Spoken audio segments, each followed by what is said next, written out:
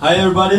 Um, I want to thank everybody who invited me to the team. It's very special for me to represent Austria for the first time.